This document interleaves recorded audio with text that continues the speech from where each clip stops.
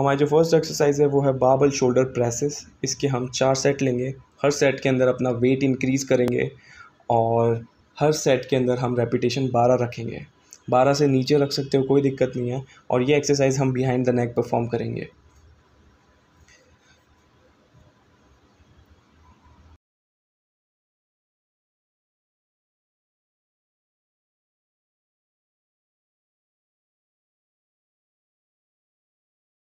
अब आते हैं हमारे सेकंड एक्सरसाइज पे फ्रंट रेजेस इसमें आपको अपने एल्बो हल्के से बैंड रखने हैं और आपके डंबल सामने की तरफ़ होने चाहिए।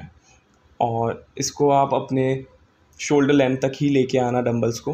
वेट जितना कम रख सकते हो, अच्छी चीज़ है क्योंकि ये आइसोलेट एक्सरसाइज है, इसमें आपको इंजरी के चांसेस हो सकते हैं।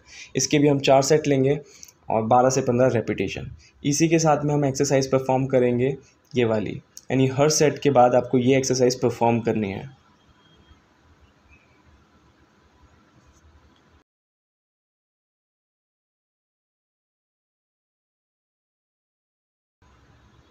अब आते हैं हमारी थर्ड एक्सरसाइज पे साइड रेजेज़ केबल पे और आप ये डंबल पे दोनों पे ले सकते हो बट केबल पे आपको काफ़ी अच्छा स्ट्रेच मिलता है, इसलिए मैं केबल पे ले रहा हूँ.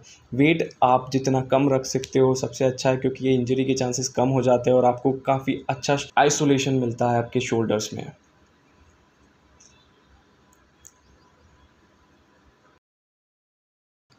अब आते हैं हमारी फोर्थ एक्सरसाइज पे। ये एक्सरसाइज आपके शोल्डर को थ्री लुक देने में काफ़ी हेल्प करती है।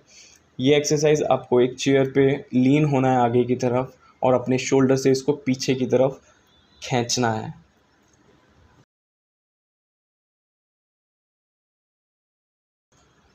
अब आते हैं हमारी फिफ्थ एक्सरसाइज पे। रियर डेल्स के लिए, जो पीछे की तरफ़ डेल्स होते हैं, उसके लिए तो ये एक्सरसाइज आप केबल और डंबल दोनों पे परफॉर्म कर सकते हो बट केबल पे काफ़ी अच्छा स्ट्रेच मिलता है। इसलिए मैं केबल पे कर रहा हूँ।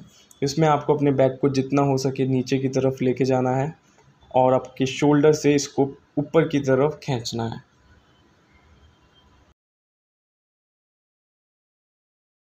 हमारी लास्ट एक्सरसाइज पे ये आपके ट्रैप्स को थिक करने में काफ़ी हेल्प करती है, मोटी करने में काफ़ी हेल्प करती है। ये एक्सरसाइज आपको बिल्कुल ऐसे ही परफॉर्म करनी है जैसी स्क्रीन पे दिख रही है।